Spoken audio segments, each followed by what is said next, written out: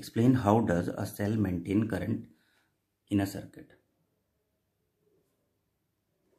Cell maintain a current in a circuit by keeping the potential difference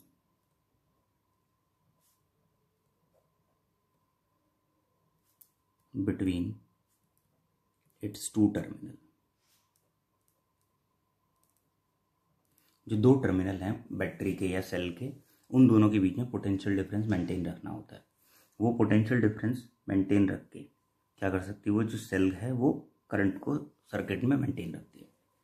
In the circuit given below the resistance of path X T Y X T Y इसका जो resistance है कितना? Five ohm and X Z Y X Z Y इसका कितना resistance है? Six ohm find the equivalent resistance between X and Y X और Y में। तो दोनों किसमें आगे पैरल में आगे तो जो रेजिस्टेंस आएगा one upon R one plus one upon R two तो one upon five plus one upon six कितना आ गया? थर्टी सिक्स प्लस फाइव तो वन अपॉन आर कितना आ गया हमारे पास?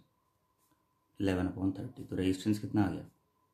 Thirty upon eleven B B part पहले वाले पार्ट का आंसर आ गया. सेकंड में क्या गया? Find the current in the main circuit अब इस मेन सर्किट में करंट यहाँ रेजिस्टेंस कितना आ गया हमारे पास? थर्टी अपॉन इलेवन यहाँ रेजिस्टेंस कितना? वन पॉइंट फाइव और ये सेल जो लग रही है, वो छः वोल्ट की लग रही है. तो ये जो रेजिस्टेंस आएगा सीरीज़ में होगा। R thirty upon eleven plus one point five यानी कि fifteen upon ten eleven into ten three hundred और इलेवन को फिफ्टीन से मल्टीप्लाई करो, लो पाँच पाँच और एक से वन सिक्सटी फाइव तो रेजिस्टेंस आ जाएगा, वो आ जाएगा four hundred sixty five upon eleven into ten हमसे पूछा क्या था? करंट तो वी इक्वल टू क्या होगा? आई आर वी कितना? सिक्स वोल्ट आई पता नहीं आर कितना? Four sixty five upon eleven into ten तो कितना का? Six into eleven into ten upon four sixty five ये करंट आ जाएगा एम्पियर में। इसका सेकेंड पार्ट हो गया। थर्ड पार्ट में क्या कहा है? Calculate the current that flows through the path X T Y इससे कितना होगा और इससे कितना होगा। देखो, पहले तो हमें इस वाले इसमें यहाँ पे पोटेंशियल डिफरेंस निकालना पड़ेगा। अब करंट हमें पता चल गया इतना आ रहा है। तो थर्ड पार्ट के लिए पहले पोटेंशियल डिफरेंस है। तो मान लें वी वन है पोटेंशियल डिफरेंस ठीक है?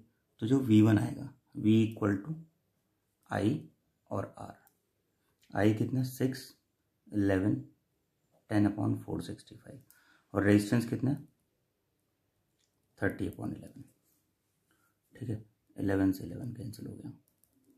तो six into three hundred upon four sixty five ये पोटेंशियल डिफरेंस आ गया। अब क्या चाहिए? करंट पूछा है। तो अगर हम एक्स टी वाई पाथ की बात करें एक्स टी वाई के लिए पोटेंशियल डिफरेंस ये resistance five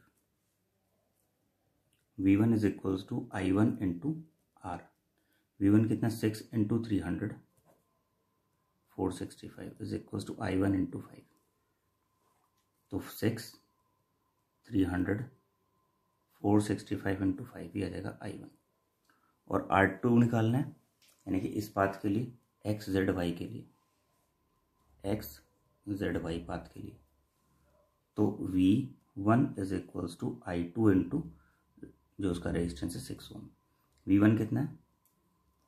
Six into three hundred upon four sixty five is equals to I two into six तो आई टू कितना जाएगा? Three hundred upon four sixty five ये आई टू की value आ जाएगी। ठीक है?